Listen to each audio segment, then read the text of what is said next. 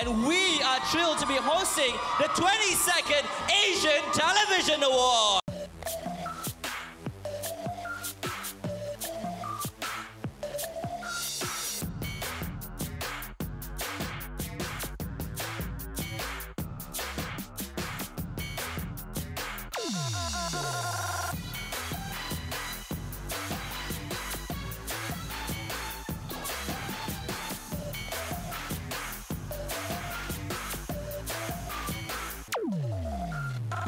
Thank you very much. Thank you. 谢谢。 Thank you. 谢谢。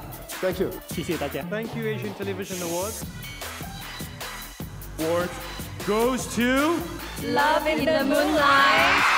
Yang Kui Mai. Kara Wong Ying Hong. Every single person has fun. The award is for gender equality across Asia.